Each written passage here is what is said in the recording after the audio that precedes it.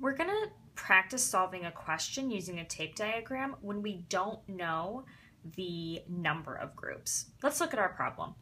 A vet gives the dogs in her office four bones each. She used 24 bones. How many dogs got bones? Well, let's look. First, I'm seeing if we know the total. Well, it looks and it says that she used 24 bones. Okay, that's the total. And then the other number is a vet gives the dogs in her office four bones each.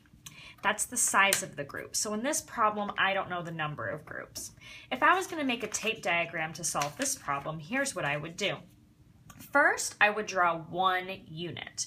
I know that each dog got four bones.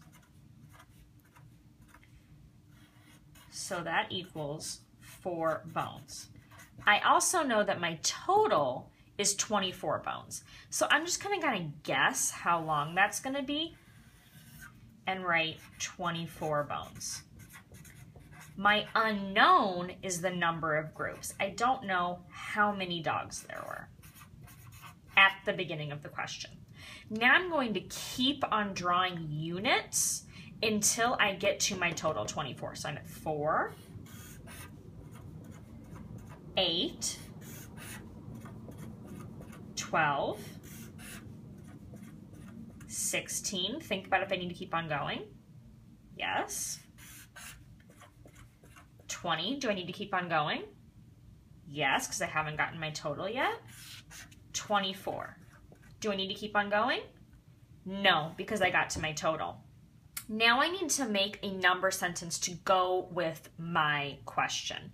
So because I knew the total and the size of the groups, but not the number of groups, this is a division problem. So I start with my total, 24, divided by the other number I knew, the size of the groups, 4, equals how many groups? Let's see, I drew one, two, three, four, five, six. Oh, six groups. Last is my word sentence. My question again said, how many dogs got bones? So I can write, just using these words, six dogs got bones.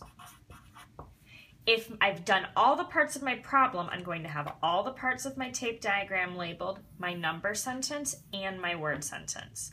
Make sure you're adding all those parts when you try at home.